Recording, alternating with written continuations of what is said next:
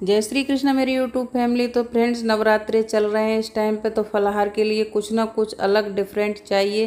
तो आज मैंने बिल्कुल अलग तरीके से बनाए फलाहारी आलू। बहुत ही टेस्टी बनते हैं और बहुत ही जल्दी से बनकर तैयार हो जाते हैं। जब समय बिल्कुल ना हो और अच्छे से कुछ खाने का मन कर रहा हो चटपटा तो इस रेसिपी को ज़रूर ट्राई कीजिएगा। तो देखते हैं इन्हें मैंने कैसे बनाया है। तो देखिए, इसके लिए मैंने तीन बॉयल आलू लिए हैं। और ठंडा होने के बाद इनका छिलका हटा के इस तरह से इतने इतने मोटे पीस में कट कर लिया है। थोड़ा सा हरा धनिया लिया है, आधा कप मूंगफली के दाने लिए हैं, एक चम्मच मैंने सफ़ेद तिल लिए हैं और एक चम्मच जीरा लिया है, एक चम्मच ही ग्रेटेड अदरक है और तीन से चार हरी मिर्च ली हैं बारीक कटी हुई। अगर तीखी हो तो आप कम ले लीजिएगा। और देखिए सारी सामग्री मैंने इकट्ठी कर लिया तो आइए अब इन्हें बनाना शुरू करते हैं। तो वीडियो को लास्ट तक देखिएगा, तभी आपकी समझ में आने वाले हैं और किस तरह से ये बनाए जाते हैं। तो देखिएगा, इसमें अब मैंने डाला है डेढ़ चम्मच देसी घी। कढ़ाई गर्म हो गई है, डेढ़ चम्मच देसी घी को इसमें मैंने डाल दिया है। घी को अच्छे से मेल्ट होने देते हैं। देखिए अब सबसे पहले मैं इसमें डालूँगी जीरा। गैस का फ्लेम रखिए लो, क्योंकि जीरा हमारा जलना नहीं चाहिए, सिर्फ़ चटकना चाहिए। और इसका कलर भी इतना चेंज नहीं होना चाहिए क्योंकि इसके साथ हम मसाले को भूनना है तो ये खुद ही एकदम से गोल्डन हो जाएगा। तो अब मैं जीरा अच्छे से चटक गया तो हरी मिर्चें कटी हुई, वो डाल देते हैं। तो ये कम तीखी हैं तो मैंने इसलिए इन्हें ज़्यादा ले लिया है। अगर आपकी मिर्च ज़्यादा तीखी हो तो आप एक या दो डाल सकते हैं, नहीं तो आप काली मिर्च को भी इसमें डाल सकते हैं। तो देखिए मिर्चें भी अच्छे से चटक गई हैं तो अब इसमें डाल दूँगी मूँगफली के दाने। मूंगफली के दाने, क्यों कच्ची मूंगफली के दाने तो इसकी के साथ में ये ड्राई रोस्ट हो जाएँगे। तो इस तरह तरह से चला के इसे इन्हें भी अच्छे से चटका लेते हैं। दो मिनट इसे चलाइएगा, बहुत अच्छे से चटक जाएँगे। और फ्रेंड्स वही छोटी रिक्वेस्ट अगर आपने चैनल को सब्सक्राइब नहीं किया तो प्लीज़ कर लीजिएगा बेल आइकन को प्रेस कर दीजिएगा, जो आने वाली वीडियो नोटिफिकेशन है, वो आप तक पहुँच सकें। तो देखिए, मूंगफली के दाने हमारे चटक गए हैं। अब इसमें मैंने जो सफ़ेद तिल है वो डाल दिए हैं।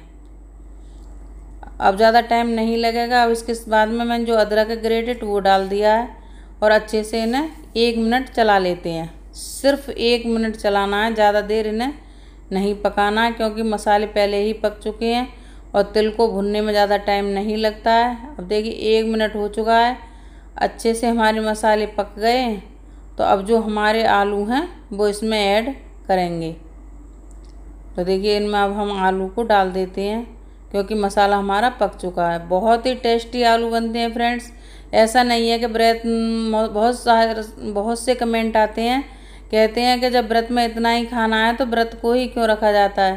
फ्रेंड्स, सब एक जैसे नहीं होते हैं, क्योंकि कभी किसी पे भूखा रहा जाता है, किसी पे नहीं रहा जाता है। तो अपने व्रत को जारी रखने के लिए कुछ ना कुछ खाना तो पड़ता ही है। तो इसलिए इसे आसान सी रेसिपी ज़्यादा हल्का फुल्का बना के खा सकते हैं और हमारे शरीर को एनर्जी मिलती रहे। तो देखिए, बहुत ही टेस्टी हमारे आलू बनकर तैयार हुए हैं और मूंगफली के दाने जो थोड़े बहुत भी अगर हमारे पेट में जाते हैं ना तो बहुत ज़्यादा एनर्जी रह देते हैं। अब इसमें हम डाल देते हैं स्वाद के अनुसार नमक। जब स्वाद के अनुसार नमक डाल दिया और बारीक कटा हुआ डाल दिया, इसी के ऊपर धनिया। तो देखिए, बहुत ही टेस्टी आलू बन बन गए हैं हमारे और इनके लिए अच्छे से दो से तीन मिनट अब हम इन्हें फ्राई करेंगे। जब तक इनका अच्छे से कलर चेंज नहीं हो जाता। कलर चेंज होने तक हम आलू को इसी तरह से चलाते हुए पकाना है। क्योंकि आलू तो पहले ही बॉयल हैं तो इस सिर्फ़ इनका कलर चेंज करना है और एकदम से बहुत ही क्रंची क्रिस्पी आलू हो जाएँगे ये। बहुत ही टेस्टी लगेंगे आप इन्हें हरी चटनी के साथ और व्रत वाली जो चटनी बनाई जाती है, उसके साथ में खाइएगा। दही के साथ खाइएगा, बहुत ही टेस्टी लगते हैं, एकदम से आपका पेट भर जाएगा और तबीयत भी साफ़ हो जाएगी। तो देखिए, हमने इन्हें इस तरह से सबको बहुत अच्छे से फ्राई कर लिया है। और फ्रेंड्स, अगर वीडियो पसंद आए तो चैनल को सब्सक्राइब करना बिल्कुल भी मत भूलिएगा। वीडियो को लाइक कीजिएगा, जो आप भी ऐसी गाँव की देसी रेसिपी ट्राई कर सको बहुत ही आसान से और कम इंग्रेडिएंट के साथ। तो आलू हमारे बनकर तैयार हो गए हैं।